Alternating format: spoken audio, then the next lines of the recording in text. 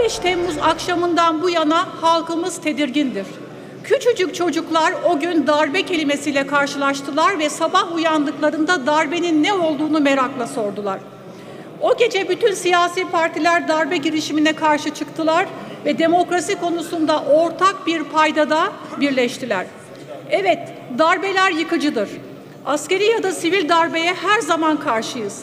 Ancak darbe girişiminde bulunanları ve destek verenleri tespit etmek konusunda bu çalışmaların öfke ve ön yargıyla ya da sorumlu ile sorumlu olmayanların ayrıştırılmadan toplumsal tedirginlikler yaratarak gerçekleştirilmesi bazı kırılmalara da yol açabilir. Darbe girişimi sonrasının nasıl yönetildiği gelecekte tarih açısından da uluslararası ortamdaki algı açısından da önemli olacaktır.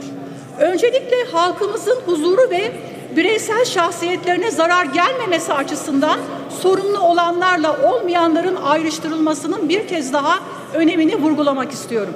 Bu darbe girişimcilerine, FETÖ'ye gerçekten FETÖ'ye destek veren bilerek kişiler de var ama zorunlu olarak vermek zorunda bırakılan kişiler de var. Ya da bilmeden devreye giren kişiler de var.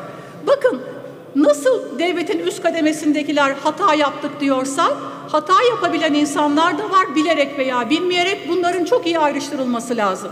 Bu nedenle olağanüstü hal sürecinin nasıl yönetildiğinin bundan sonra da önemi olacak. Bunun altını bir kez daha çizmek istiyorum. Teşekkür ederim.